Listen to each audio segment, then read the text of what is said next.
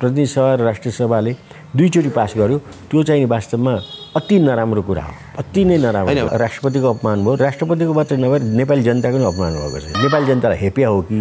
नेपाललाई समाप्त गर्नु खोजेको हो कि? यो चाहिँ मतलब किन बुझिएन के? चरितागिरी भारतीय नागरिक एउटा नेपालको गिरीसँग बिहा गरेको आधारमा उसको लोग्ने मरि मरिपिसकेको छ। दुईचोटि त प्राइम के मिनिस्टर त भयो। त प्रश्न छ नि बिहारमा जन्मेको बिहारी मान्छे यहाँ बिहाबारीको सम्बन्धबाट चाहिँ अङ्गीकृत नागरिक भएको मान्छे दुईचोटि मन्त्री बनिसक्यो राष्ट्रपति बन्न पुगेको बार त छैन पच्चिस सालमा बिहारको झन् एक सय कुल्लीहरू लिएर मेठ बनेर आएको हो राजेन्द्र महतो देशको उप प्रधानमन्त्री भइसक्यो।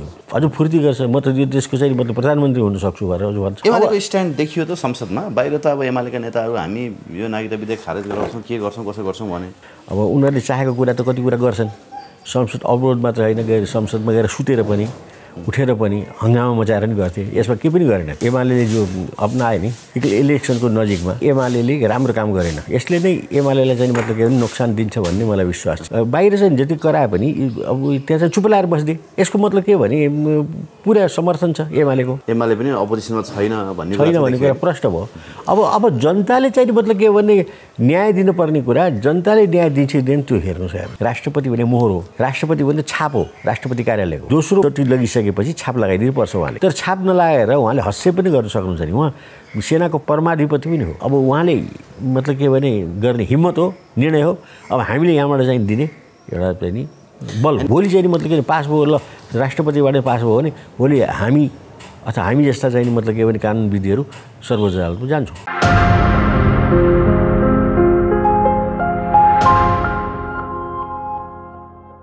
दर्शकवृन्द नमस्कार।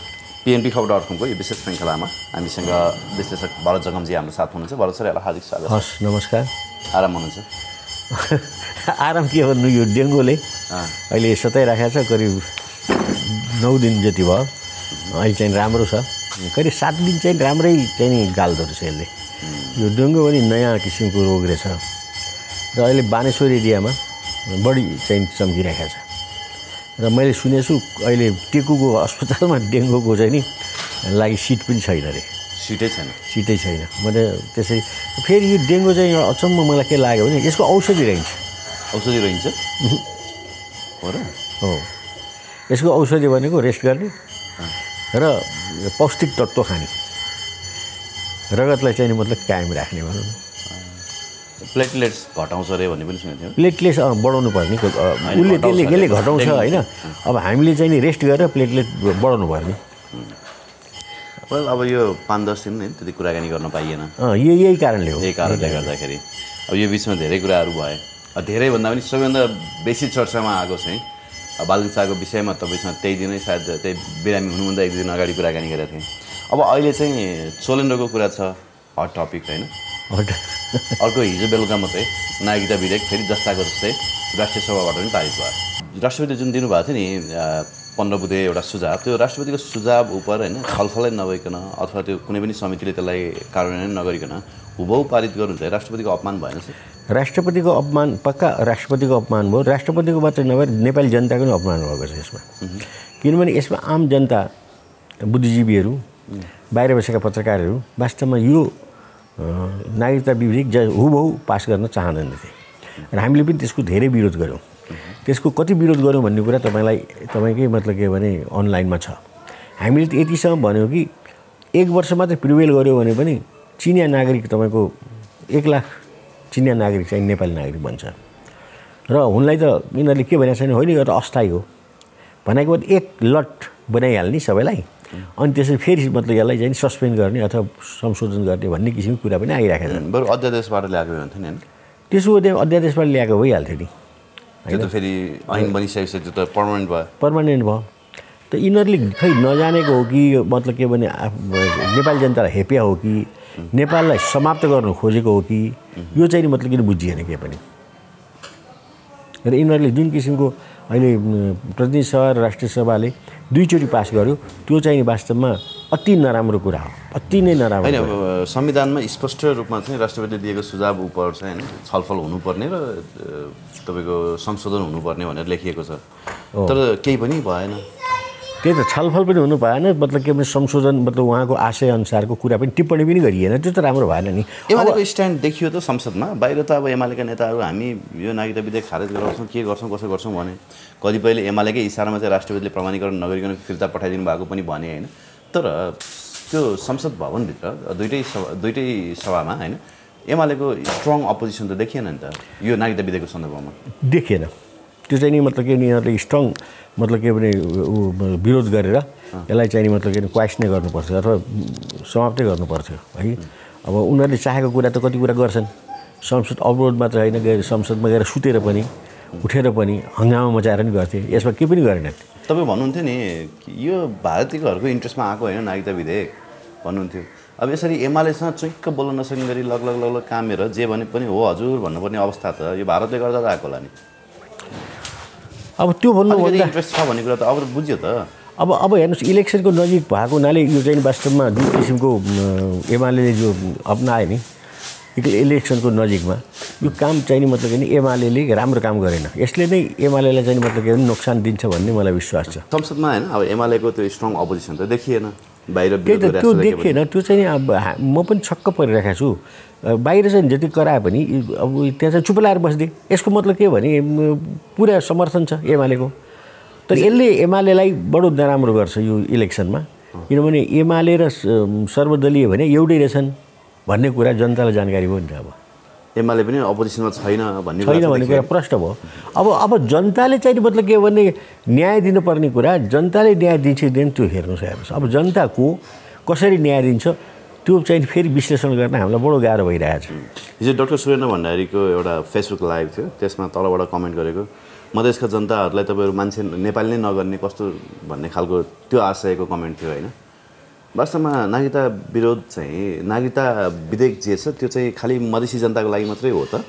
अथवा त्यसले चाहिँ हाम जुन किसिमको हामको कुराहरू हामीले गरिरहेको छौँ होइन त्यसले असर चाहिँ मधेसका जनतालाई मात्रै गर्ने हो त? अथवा उनीहरूलाई मात्रै फाइदा पुग्ने हो त?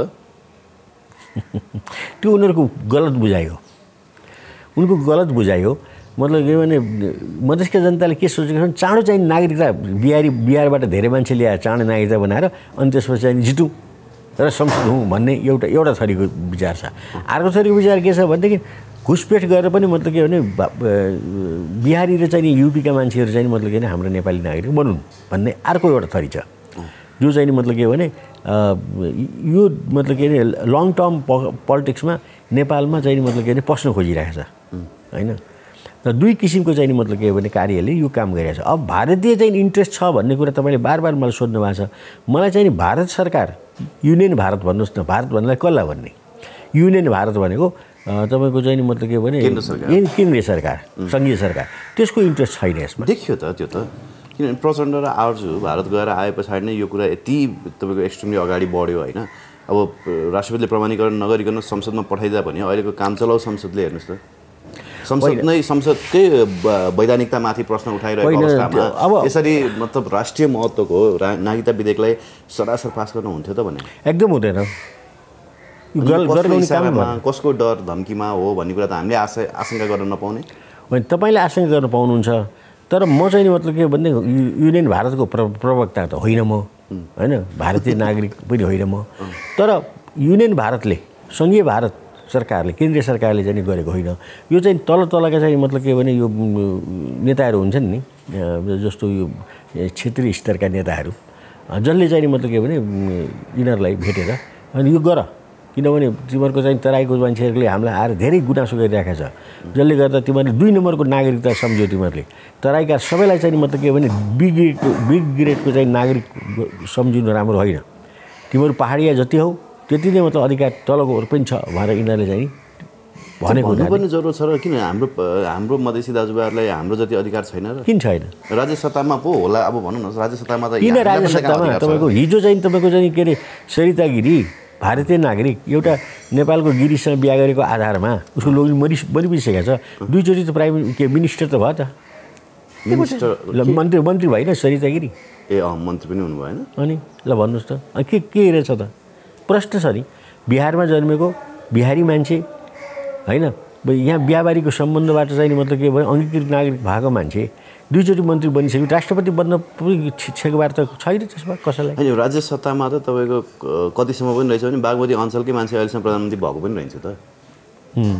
बस सरी अझ भनौँ बागमती प्रदेशको त भन्नु नमिला बाग जस त्यति बेलाको यो बाग बागमती अञ्च अञ्चलकै मान्छे अहिलेसम्म प्रधानमन्त्री भएको छैनन् पो भने त।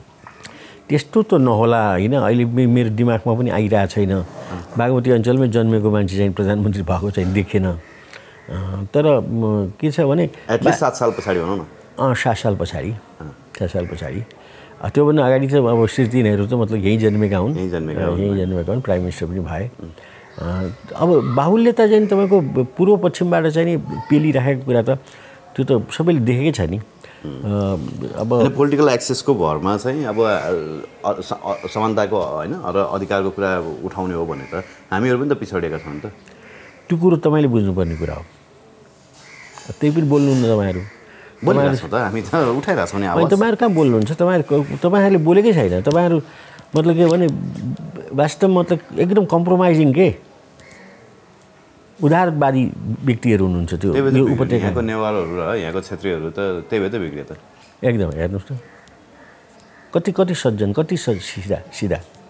अब हिजो चाहिँ पच्चिस सालमा तपाईँको चाहिँ मतलब के भने बिहारको चाहिँ एक सय कुल्लीहरू लिएर मेठ बनेर आएको हो। राजेन्द्र महतो देशको उप प्रधानमन्त्री भइसक्यो। अब यहाँका मान्छे चाहिँ मतलब के भने अब बाहिर कुल्ली गएर बाहिर गरिरहेको छ त्यही उसले बनाएको एयरपोर्टबाट प्लेन चढेर बाहिर कुल्ली। बाहिर दौडिरहेका छन्। अब उनीहरू बोनाफाइड नागरिक भन्छन् होइन? अझ फुर्ती गर्छ। म त यो देशको चाहिँ मतलब प्रधानमन्त्री हुन सक्छु भनेर अझ भन्छ। न अब न कसैले प्रतिक्रिया जनाउँछ न परिकार गर्छ न चाहिँ म त कुनै विरोध नै छ हेर्नुहोस्। शान्त कति आनन्द कति उदार। जसले जे- जे गर्दा नि हुने। यो यो हाम्रो बागमती अञ्चलको मान्छे उपत्यकाको मान्छेलाई है? हो। ओके अब छ नि नागरिकता विधेयक फेरि पनि राष्ट्रपतिका प्रमाणीकरणको लागि जाँदैछ। जाने भयो। जाने भयो। आज भोलि जाला आइतबार। लगेर होइन? भोलि प्रतिनिधि सभामा लगेर आइतबार जान्छ। भोलि नै लैजाला सायद। अब के होला त? राष्ट्रपतिको सम्भावित कदम के होला? अब हामीले भनेको राष्ट्रपतिले मान्ने हो भने मैले त पहिले पनि तपाईँको च्यानललाई भनेको पनि छु। उहाँसँग संवैधानिक अधिकार रहन्छ त्यो? अ, संविधान होइन उहाँ नागरिक पनि त हो नि। उहाँ राष्ट्रपति मात्रै नभएर नागरिक पनि हो नि। उहाँले आफ्नो नागरिकको नागरिकताको चाहिँ मतलब के भने एउटा विवेक विवेकतापूर्ण तरिकाले चाहिँ अब त राष्ट्रपतिको हातखुट्टा बाँधियो अरे नि त। अब दोस्रो पटक गएपछि यसलाई प्रमाणीकरण गर्नुको विकल्प राष्ट्रपतिसँग रहँदैन। त्यो त रहँदैन। त्यो त प्रष्ट प्रष्ट चाहिँ नि मतलब संविधानले के भनेको छ अब यो पास भयो। दोस्रो पचोटि लगिसकेपछि छाप लगाइदिनु पर्छ उहाँले होइन? तर उहाँ विवेकशील नागरिक पनि त हो नि। राष्ट्रपति भने मोहर हो। राष्ट्रपति भने छाप हो राष्ट्रपति कार्यालयको होइन? ठिक छ छाप लागेर आउँछ। तर छाप नलागेर उहाँले हस्य पनि गर्न सक्नुहुन्छ नि। उहाँ सेनाको परा परमाधिपति पनि हो। राष्ट्राध्यक्ष पनि हो।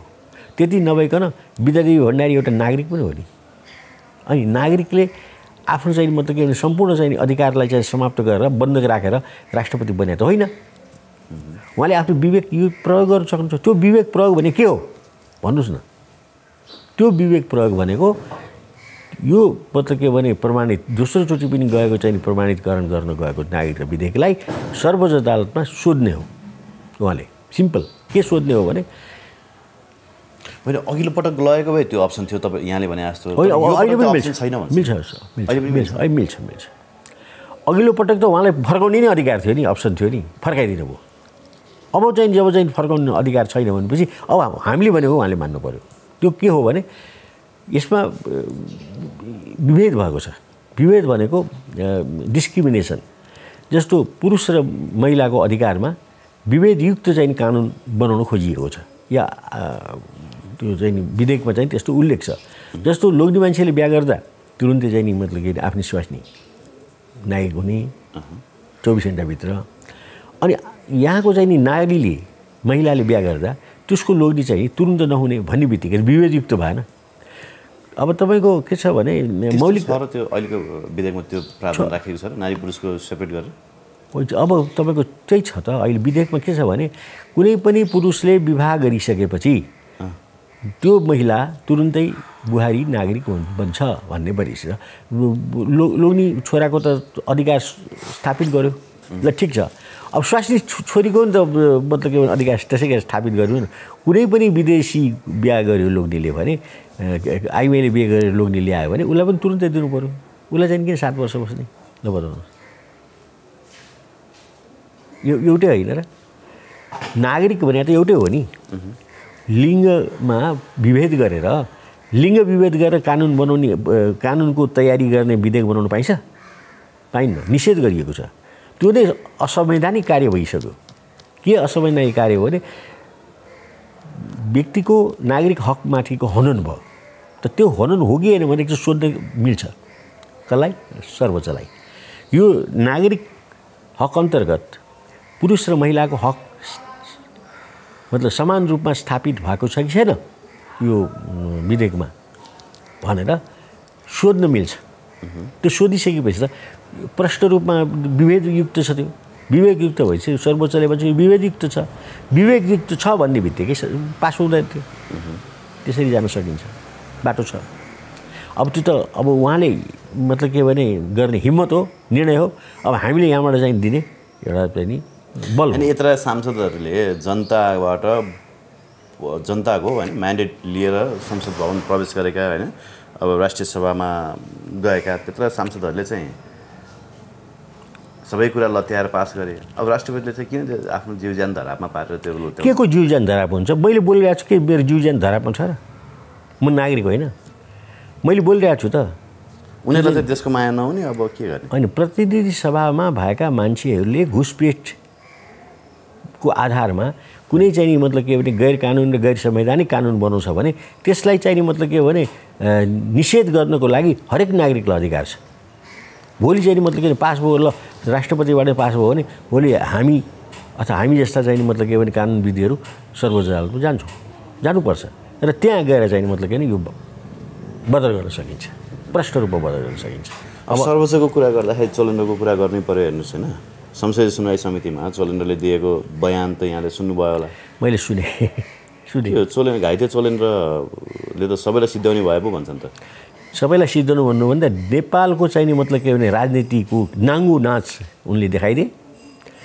राजनीतिक अवस्था र नेपालको चाहिँ नि मतलब के भने न्यायिक निकायको चाहिँ नि मतलब जिम्मेवारी र त्यसले वहन गरेका क्रियाकलापहरूलाई पनि उनले नाङ्गो रूपले देखाए। अब सबैले अहिले रेकर्ड गरिसके। आफूले रेकर्ड गरेर सुनिरहेका छन् होइन? होइन बयान दिन गएको मान्छे अरूलाई अरूलाई आरोप लगाउनु पो गएको जस्तो देख्यो कि? होइन त्यो त उहाँको उहाँको उहाँको कमजोरी हो नि उहाँको चाहिँ नि क्षमताको मतलब मतलब कमी भन्ने कुरा प्रष्ट देखियो। किनभने उहाँ एउटा मतलब केही नभए पनि ल ठिक छ उहाँ प्रधान न्यायाधीश होइन। एउटा देशको जिम्मेवार नागरिक त हो। उनले आफ्नो देशलाई आफ्नो चाहिँ निकायलाई नराम्रो हुने कुरा बोल्नुहुन्छ। कति कुराहरू शरीरभित्र हाम्रो शरीरमा कति अङ्ग छन्? जस्तो तपाईँले मलाई देख्नु भएको छ मेरो आँख नाखा मुख। फेरि प्रतिशोध साँधे जस्तो देखियो नि त। होइन, माधव सुन्नु नेपाल न। माथि नै खनिएका छन् होइन? माधव नेपालको ललिता निवासको मुद्दाको कुरा उठाउँछन् ललिता निवास मुद्दामा माधव नेपाललाई कारवाही हुन्छ भने विष्णु पौडेललाई कारवाही किन नहुने विष्णु पौडेललाई कारवाही कुमार रेग्मीलाई कारवाही किन नहुने अनि त्यही क्याबिनेटको रक्षा मन्त्री विद्यादेवी भण्डारीलाई कारवाही किन नहुने भनेर प्रश्न उठाउँछन्। हो त। ऊ एकदम ठिक हो। क्याबिनेट मेम्बर त हो। क्याबिनेट हेडको रूपमा माधव नेपाललाई कारवाही हुन्छ भने अरूलाई चाहिँ किन कारवाही नहुने क्याबिनेट मेम्बर्सहरू? त्यो त हामीले पहिले एकचोटि बोलेको छ। तपाईँले भन्नुभएको छ। एक साल पहिले पहिले भनेको छ। सबैले भन्नुभएको है अनि फेरि अब अर्को इन्ट्रेस्टिङ कुरा चाहिँ आठाना जग्गा चाहिँ छोराको नाममा पास गर्ने विष्णु पौडेल। अनि अब कारवाही होला भन्ने डरले लुसुक्क पास गरेपछि विष्णु पौडेललाई चाहिँ उन्मुक्ति अनि माधव नेपालले चाहिँ कुन कुनामा कति आना पास गरेका छन् लौ देखाइदेऊ नि त भन्छन् कि? होइन यो सबै हेर्नुहोस् यो चाहिँ एमालेसँग मिलेर चोलेन्द्रले त्यो जबज र जबरा मिलेर गठबन्धन सिद्ध्याउने यो के भन्छ षड्यन्त्र हो भन्छन् कि होइन त्यो होइन तपाईँको के छ भने नेपालको अहिले इन्टायर पोलिटिक्स नेपालको खिलाफमा छ। र नेपाली जनताको खिलाफमा छ। र अहिले जति पनि तपाईँले नाम लिनुहुन्छ त्यो सबै नेपाललाई मतलब ध्वस्त बनाउनुको लागि तयार भएर बसेका यी सैनिकहरू हुन्। तिनीहरूले बनाउन थालिसके। चाहे त्यो माधव कुमार नेपाल होस् शेरबहादुर देउबा होस् प्रचण्ड होस् सोलेन्द्र होस् यी सबै एउटै ड्याङ्गा मुला हुन्। होइन ओलीले जसले भ्रष्टाचार गरे अकुत कमाए भनेर यो सरकार आएको होइन। यो सरकारसँग ल्याकत भइदिए त ओलीलाई कारवाही गर्थ्यो। अनि ओली चाहिँ सत्तामा हुँदाखेरि यो ललिता निवास यो त्यो सबैलाई कारवाही गर्थे यो त सबै त अघि चोर चोर मोसेर भाइ भनेर मैले तपाईँलाई पहिले पनि भनेको छु जनताको अगाडि कसलाई बदनाम गराउने कति बदनाम किन बदनाम? बदनाम नाम भए पो त बदनाम हुन्छ यिनीहरू के नाम छ भन्नुहोस् त? होइन भोटको लागि। ठिक छ भोटको लागि यिनीहरूले जितुन् तर एउटा कुरो अब जनतामा चाहिँ तपाईँको फेरिस्टा डक डकुमेन्टेसन भइसकेको छ सबै कुराहरू। यिनका चाहिँ काला कर्तुतहरू। जनताले त केही गर्दैन। जनता भनेको- इन्टरभ्यू लिँदाखेरि चाहिँ एउटा झन्नै कुरा थियो मलाई। त्यहाँ उनीहरूको नेताको नाम परेछ। इन्टरभ्यू लिँदा लिँदै अनि हाम्रो नेताको बारेमा कुरा गर्छु भने झन् मुका बजाइहाल्थ्यो भक्तपुरमा अँ। सूर्यविनायकमा। हो बुझेँ मैले। अनि डर लागेर पनि भाग्नु पऱ्यो त्यो त्यो ब्रोडकास्ट पनि गर्नु नभए होइन अब ब्रोडकास्ट त गरियो। तर अब त्यो कुट्न लागेको बेलामा त रोकियो नि त फेरि क्यामेरा स्यामेरा फुटाइदियो भने त किन्न सक्ने हैसियत छैन। त्यही त। गाह्रो हुन्छ। त्यो जे भए तापनि तपाईँले के सोच्नु पऱ्यो भने अहिले भएका पोलिटिकल सिनारीमा भएका जति पनि नेताहरू छन् जति पनि पदाधिकारीहरू छन् ती सबै राष्ट्रद्रोही हुन् भन्ने कुराको प्रमाण हो यो। प्रष्ट। त्यो प्रमाण जुट्दैछ हामी बोल्थ्यौँ मात्रै। भरत जङ्गम क्यामेरामा बोल्थ्यौँ। होइन भरत जङ्गम ज्यादै चाहिँ बोल्न थाल्यो।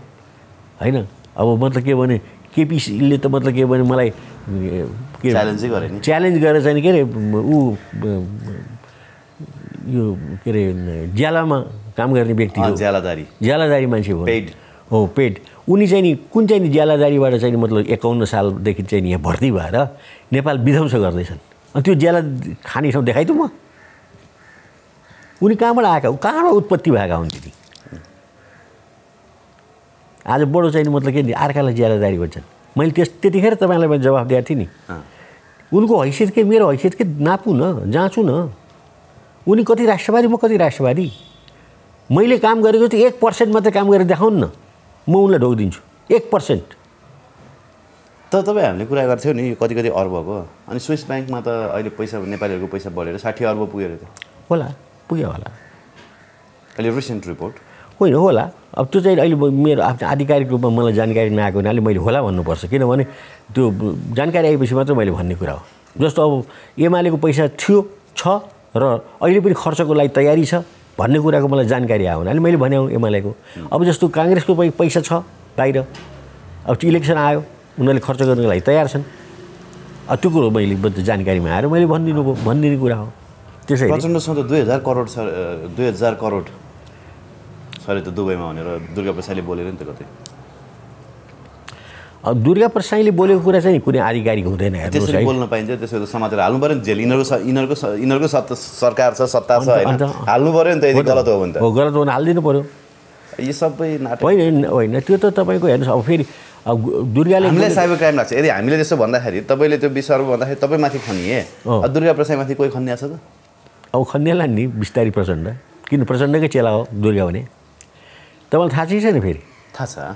प्रचण्डकै चेला हो दुर्गा?